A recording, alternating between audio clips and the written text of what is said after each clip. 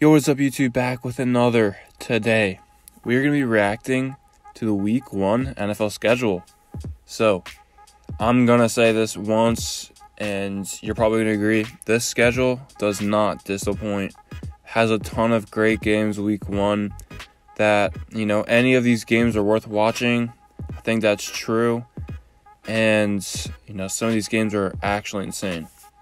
So, the first game that many people predicted even months ago was, you know, as you know, the Super Bowl winner usually gets to play the first game of the season, which would be Tampa Bay. Many were speculating that it'd be playing the Cowboys. And there you go. They'd be playing them on Thursday Night Football. Um, I know, like, people are saying this is a good game. I don't see it. I think the Cowboys are really bad, overrated. It's going to be an easy win for the Buccaneers, too. So it is what it is. But you look at the rest of the schedule, and you're going to be seeing a lot of good games. So I'm a Steelers fan. I don't know why, but I had a dream last night that I actually got the Steelers' first week, their their schedule or something, their first game of the season. It was against like the Titans, and I was, you know, kind of mad, but I was hoping for anything except the Chiefs or the Bills, and there it is. The Steelers are going to be playing at the Bills week one. This is definitely going to be a good game.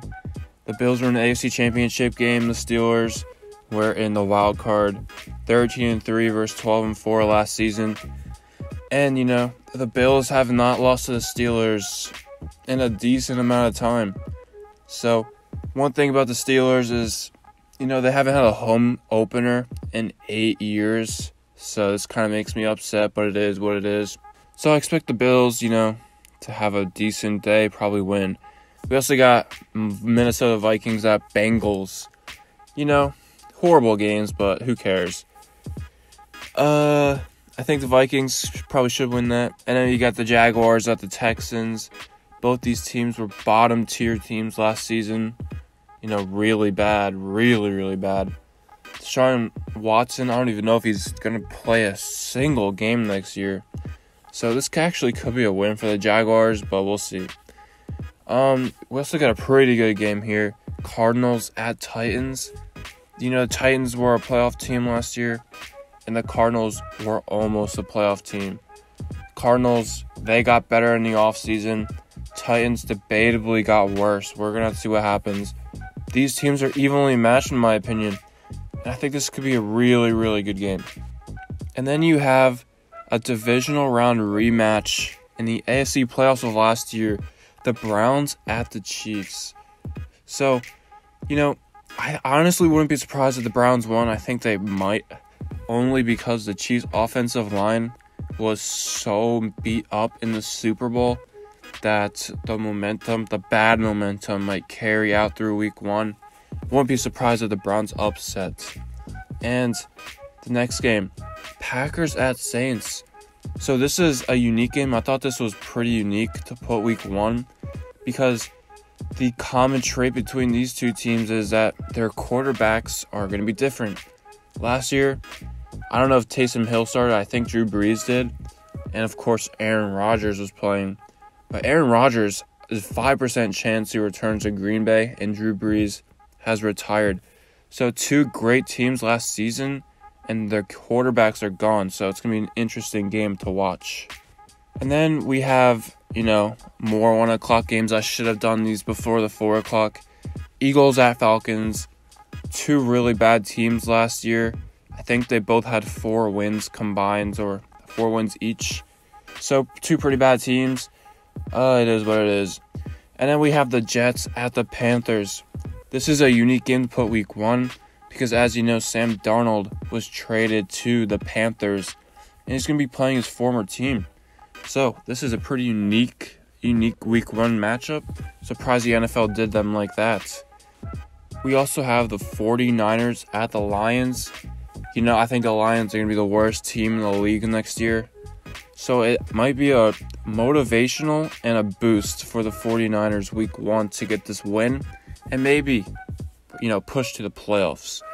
And then another really good game Seahawks at Colts. You know, this game's going to be really good. Seahawks and Colts were both playoff teams last year. had pretty similar records. I think Seahawks went 12 and 4, Colts went 11 and 5 or something like that. This game's gonna be good. You know, Carson Wentz is gonna be making his Colts debut.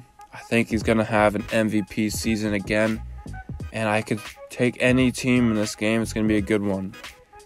You know, and then we have the next game. We have the Chargers at the Washington football team. I texted Mike. He said that this game is going to be one of his favorites for some reason. I don't know why. Both these teams went 7 and 9 last season. It debuts Chase Young and, of course, Justin Herbert, two draft picks in the first round last year that were, you know, offensive rookie of the year and defensive rookie of the year.